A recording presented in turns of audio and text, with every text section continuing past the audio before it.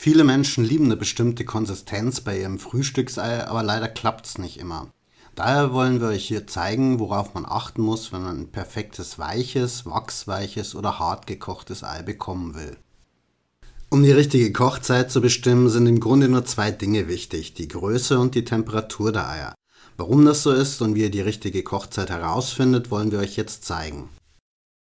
Eier können in ihrer Größe recht stark variieren. Gibt man sie in kochendes Wasser, wird die Hitze von außen nach innen vordringen und es geht natürlich beim kleinen Ei viel schneller als beim großen. Das heißt, unser kleines Ei ist nach drei Minuten weich gekocht, während das große noch fast roh ist.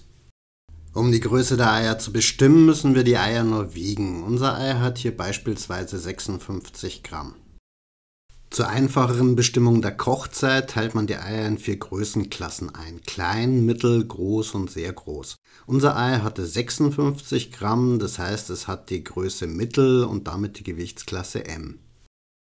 Um die perfekte Kochzeit herauszubekommen, braucht ihr diese Tabelle. Wer sie in Ruhe ansehen will, kann das Video anhalten oder auf den Link in der Videobeschreibung klicken, um die Tabellen auszudrucken. Wir wissen, dass unsere Eier M, das heißt mittelgroß sind. Da wir sie im Kühlschrank lagern, nehmen wir die mittlere Tabelle. Jetzt müssen wir nur noch die Zeit für die weich gekochten Eier ablesen. Das wären hier 4 Minuten und 30 Sekunden. Nachdem wir nun die optimale Kochzeit wissen, pieken wir die Eier vorher an, damit die Schale nicht platzt. Außerdem haben wir die Gewichtsklasse vorsortiert, so haben alle dieselbe Kochzeit.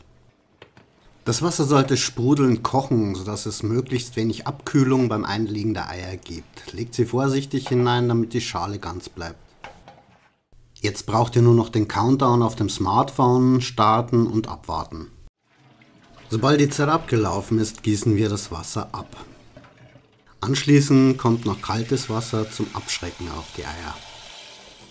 Damit sind wir am Ende und können unsere perfekt gekochten Eier genießen. Wer die Anleitung samt der Tabellen für die Kochzeiten in Ruhe nachlesen will, findet wieder in der Videobeschreibung den Link zum Artikel. Ich wünsche euch einen guten Appetit.